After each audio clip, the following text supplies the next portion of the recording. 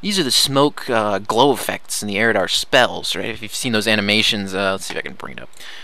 Um, let's see, you're gonna open Eridar Warlock, right? So this guy's animations, you know, he does his like spell and he does this awesome fire stuff, or like the spell slam fire stuff. And I've know I've seen this with Archimonde, he does that too. You get like smoke coming up. So these are the smoke, and we're gonna go ahead and import that smoke. We're gonna have Illidan have cool smoke effects on Illidan, you know, might as well.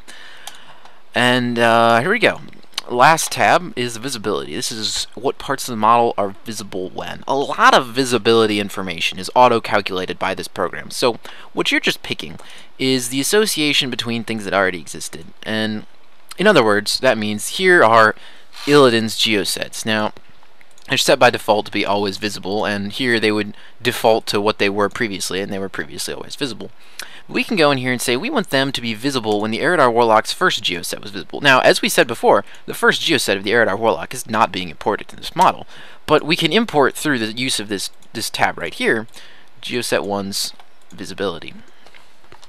Another feature here with the visibility, as you can see, the Eridar Warlock's components are all displayed, all the ones that we picked off the list, and presently it displays all textures. It's sort of an accidental thing that you see all of the textures of everything, but data changed on things that won't be imported doesn't really matter. So you look down here, you have the the foot uh, left, foot right, the weapon of the Eridar Warlock, its you know, its hand uh, attachment points, and all the rest of them, and the smoke effects that we chose to import, and they are already operating on the Eridar Warlock's visibility information that's automatically going to be imported unless I change it. So they're all going to be used, and they favor components' original visibility when combining, which uh, in this case, nothing's really overlapping information, so that probably won't change anything, but it means they will stay visible when they were visible. Everything here should work. In other words, these smoke effects will appear only in the spell animation, as they did before, regardless of where the spell animation ends up in the time track when you're done. Uh, the computer will remember that with this program and handle it. Alright, so we're going to come down here and click Finish. I'm going to accept this import.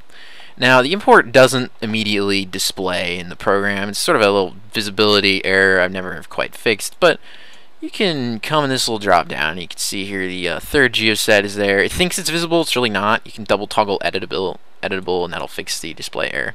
So now you can see we've got the Hero Glow imported onto this Illidan model, and we've got, if you show pivot points, we've got a lot of pivot points now, a lot of these information to these things. You know, you've got the attachment points, you can see here the Hero Glow's bone, the uh, the feet, the geoset, uh, the bones the feet are attached to, the the sound emitters when the Eridar makes its noise, and the uh, uh, a bunch of these other ones, you know, the, the bones, the actual helpers. So the things called bone underscore are, are helpers in, in the model. It's something weird about how Blizzard made it all, but it's just kind of how it goes. Um, yeah.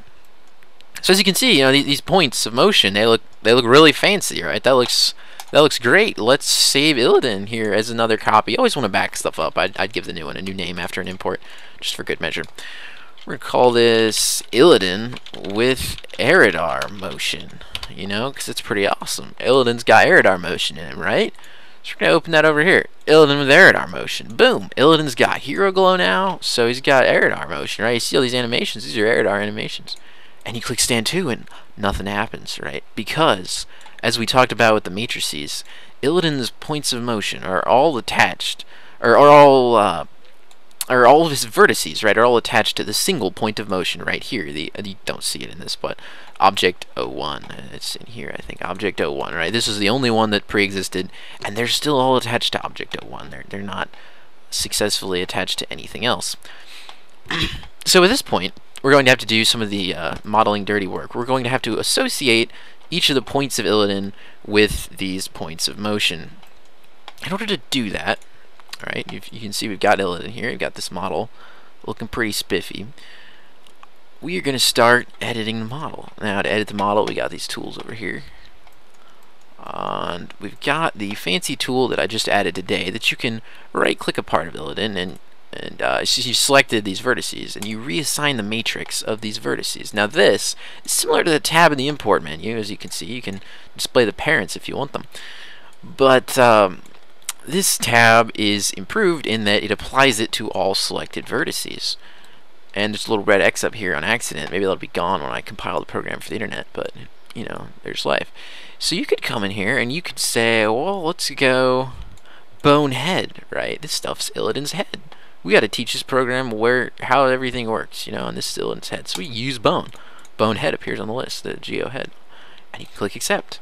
And suddenly now, all of Illidan's head is set to animate with Illidan's head. If we save Illidan with Eridar motion, and we come back here, and we reload it, right, if you go into the animation controller and you do stand, you know, Illidan's head is moving like an Eridar now, right? We, we've associated his head with the Eridar body, which is what we wanted, you know, in his, in his attack. And you can see here the head is pretty pretty bugged up, right? It's it's uh, it's attached, but what's happened is the uh, the geo head that we attached it to is way down here right behind his back and so when that when that rotates right this is rotating around that point so it's like flying down here because it thinks that the center of it is, is down here so in order to fix that right you can take the head ref here you can move it up to Illidan's head alternatively you could scale all of Illidan down until he he better fit the bones. Let's go ahead and do that instead. So we're going to grab head. I just control Z'd it so it's back where it was, behind his back. And we're going to uh, turn off pivot points for a second and make the Hero Glow uneditable, so we're just editing Illidan. We're going to select all of Illidan, then we're come back to showing pivot points. Now you can see where these points of motion are, and I can edit Illidan without the points of motion being selected. So we're going to scale Illidan down a little bit using this scale tool here, and then you, you right-click to apply the action, right? So I'm right-clicking, dragging drag right click to make Illidan change scale. And you can see he changes scale dynamically the closer your mouse gets to him. Uh, I found to be an improvement over uh, the vertex modifier made by Oinkerwinkle. That was one of my goals in making this program, is make something new and improved. So, you want to move this right here straight onto where you see geo foot, you know, foot left, foot right. You want them to be in about the same point, you know. I mean, it's, it's hard to get everything perfect, but you want it pretty close. I see the head right, bone bone head and head ref are a little bit up there, so we can make it a little a little bit bigger.